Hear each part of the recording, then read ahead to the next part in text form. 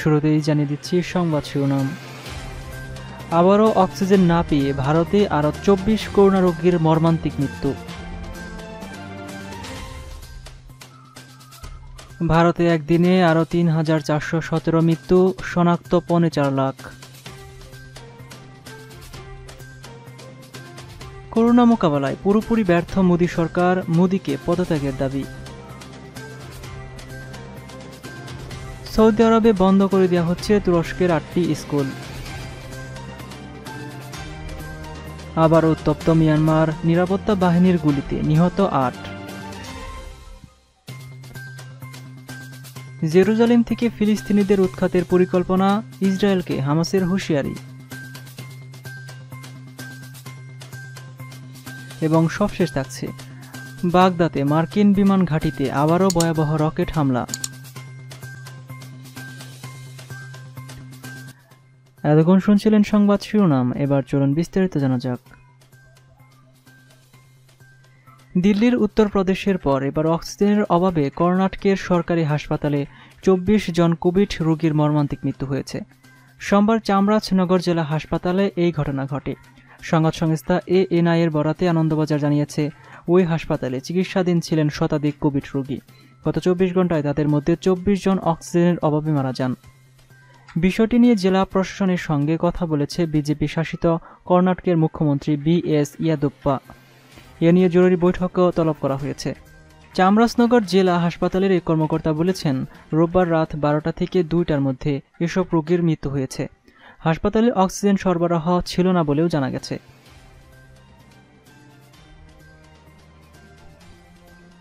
Corona ভাইরাসের দ্বিতীয় ঢেউয়ে নাজেহালে অবস্থা ভারতের। করোনায় আক্রান্ত এবং মৃতের সংখ্যা লাফিয়ে লাফিয়ে বাড়ছে। গত চব্বিশ ঘন্টায় ভারতে সাড়ে তিন লাখ করোনা আক্রান্ত রোগী শনাক্ত হয়েছে।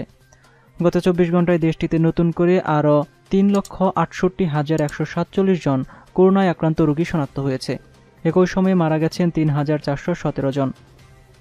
এ নিয়ে দেশটিতে আক্রান্তের সংখ্যা বেড়ে দাঁড়াল এক কোটি নিরানব্বই লাখ পঁচিশ হাজার ছয়শো চারজন দেশটিতে করোনায় এখন পর্যন্ত মারা গেছেন দুই লক্ষ আঠারো হাজার নয়শো উনষাট জন।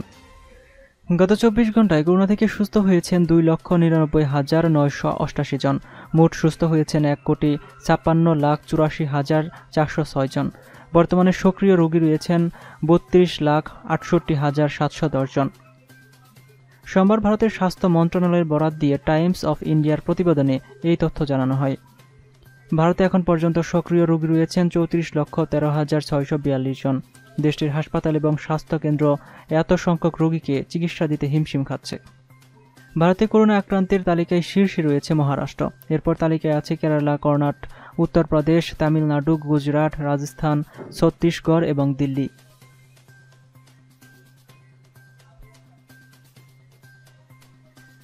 দেশের করোনা পরিস্থিতি ঠেকাতে পুরোপুরি ব্যর্থ মোদী সরকার। অতি মহামারী শুরুর প্রথম দিন থেকেই এ নিয়ে কেন্দ্রের মোদী সরকারকে তীব্র ভাষায় একের পর এক আক্রমণ জানিয়েছেন কংগ্রেস নেতা রাহুল গান্ধী। ফের করোনার সেকেন্ড ওয়েভ নিয়ে মোদী সরকারকে তীব্র ভাষায় আক্রমণ শানালেন কংগ্রেস নেতা রাহুল। রবিবার একটি সর্বভারতীয় সংবাদ মাধ্যমের কাছে সাক্ষাৎকারে রাহুল গান্ধী বলেন, করোনা পরিস্থিতি মোকাবেলায় পুরোপুরি ব্যর্থ হয়েছে প্রধানমন্ত্রী। তিনি দেশের সেবায় নয়, সব সময় নিজের দল আর ব্র্যান্ডের দিকে বেশি মনোনিবেশ করেন, যার ফলাফল এখন সারা দেশবাসী দেখছে। এদিন তিনি অভিযোগ করে আরও বলেন, রোববার সতর্কতা সত্ত্বেও প্রথম থেকেই করোনা মহামারীর বিষয়টি বুঝতে বা সামাল দিতে ব্যর্থ তিনি এবং তার সরকার। তিনি বলেন, দেশের বর্তমান করোনা পরিস্থিতি পুরোপুরি আয়ত্তের বাইরে চলে গিয়েছে। কোনোভাবেই এখন আর তা নিয়ন্ত্রণ করা সম্ভব হচ্ছে না। এই অবস্থায় কংগ্রেস নেতা, প্রধানমন্ত্রীর আত্মনির্ভর ভারত নিয়েও কটাক্ষ করেন। এদিন তিনি আরও জানান, মোদীর আত্মনির্ভর ভারতের অর্থ হল নিজের প্রতি নির্ভরশীল হওয়া। নিজে খেটে খাওয়া, মোদী সরকার কি সত্যিই দেশ আর জনতাকে আত্মনির্ভর বানাতে পেরেছে? এদিন মোদীর পাশাপাশি স্বরাষ্ট্রমন্ত্রী অমিত শাহকেও কটাক্ষ করতে ছাড়েননি তিনি। তিনি বলেন, দেশ জুড়ে করোনা মহামারী চলছে। তারপরে মোদী, শাহ মিলে পাঁচ রাজ্যে নির্বাচন ঘিরে একের পর এক জনসভা করে গিয়েছেন। দেশের করোনার সুপার স্পিডারকে আরও বেশি করে বাড়িয়ে তুলেছেন মোদী এবং অমিত শাহ। তিনি বলেন, দেশের পাঁচটি রাজ্যে নির্বাচন ঘিরে নিজেদের প্রচারকেই ব্যস্ত ছিলেন কেন্দ্রের বিজেপি নেতা, মন্ত্রীরা। প্রথম দিন থেকেই তার করোনাকে গুরুত্ব দেননি, যার ফলাফল ভোগ করছে এখন দেশের মানুষ।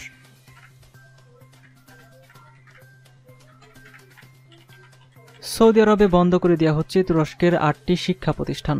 চলতি শিক্ষাবর্ষ শেষ, চলতি শিক্ষাবর্ষ শেষ করার পর এগুলো বন্ধ করে দেওয়া হবে। এই খবরটি এমন এক সময় প্রকাশ পেল যখন সৌদির সঙ্গে তিক্ত সম্পর্ক দূর করতে প্রচেষ্টা চালাচ্ছিল আঙ্কারা। এরই মধ্যে তুরস্কের শিক্ষামন্ত্রীকে বিষয়টি চিঠির মাধ্যমে জানিয়ে দিয়েছে সৌদি সরকার। তুরস্কের এই স্কুলগুলিতে কমপক্ষে দুই হাজার দুইশো ছাপ্পান্ন শিক্ষার্থী পড়াশোনা করত।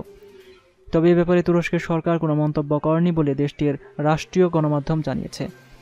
সৌদিতে তুরস্কের ছাব্বিশটি স্কুল রয়েছে। এর মধ্যে আটটি বন্ধ করে দেওয়া হচ্ছে। দু হাজার আঠেরো সালে সৌদি আরবের ভিন্ন মতালম্বী সাংবাদিক জামাল খাশোগির হত্যাকাণ্ডের পর থেকে এই দুটি মুসলিম দেশের মধ্যে টানাপোড়ন শুরু হয়। সম্প্রতি তুরস্ক, মধ্যপ্রাচ্যে বিশেষ করে সৌদি আরব আরব আমিরাত এবং মিশরের সঙ্গে সম্পর্ক উন্নয়নের চেষ্টা করে যাচ্ছে। এরই মধ্যে হঠাৎ করে স্কুল বন্ধের ঘোষণা সৌদি তুরস্ক সম্পর্কে নেতিবাচক প্রভাব ফেলতে পারে বলে বিশ্লেষকরা মনে করছেন।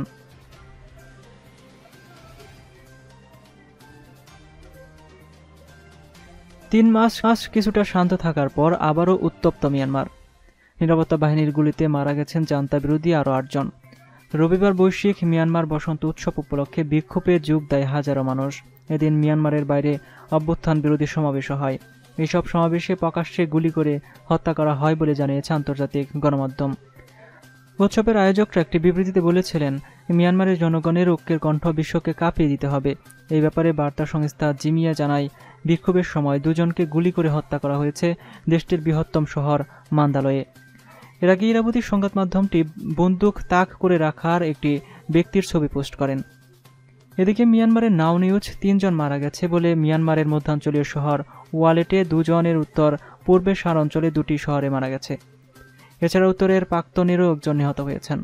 গুলির পাশাপাশি রবিবার ইয়াঙ্গনে বিভিন্ন অংশে বোমা বিস্ফোরণেরও খবর পাওয়া গেছে।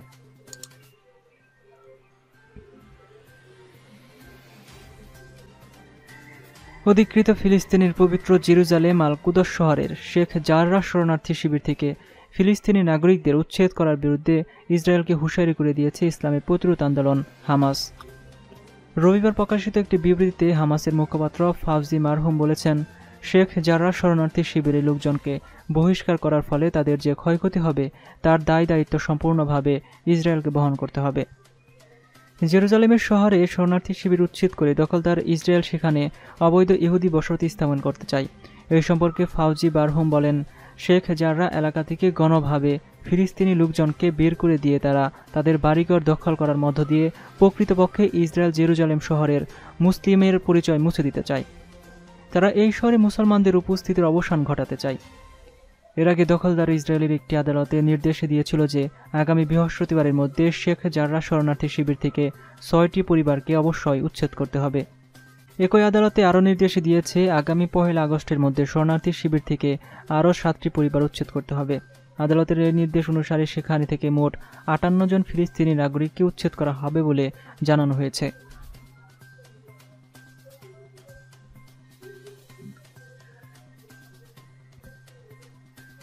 ইরাকের বাগদাদ বিমানবন্দরের মার্কিন নেতৃত্বাধীন সামরিক জোটের সেনাদের অবস্থানকারী একটি বিমান ঘাঁটি লক্ষ্য করে রোববার রকেট হামলা হয়েছে।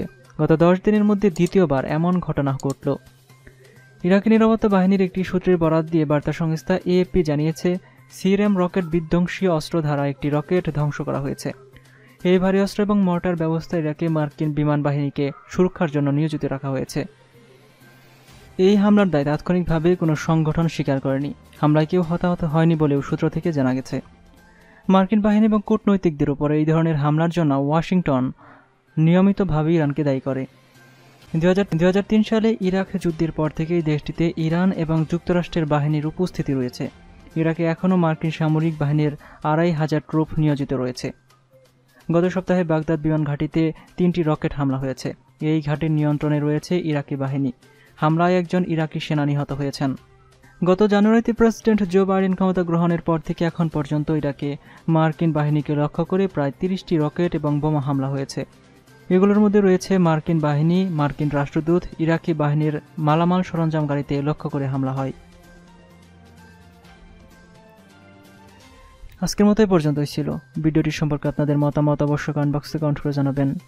বিশ্বের সর্বশেষ নিউজ সবার আগে দেখতে আমাদের চ্যানেলটি সাবস্ক্রাইব করে পাশে থাকা বেল আইকনটিতে ক্লিক করে রাখুন। এতক্ষণ সাথে থাকার জন্য ধন্যবাদ সবাইকে।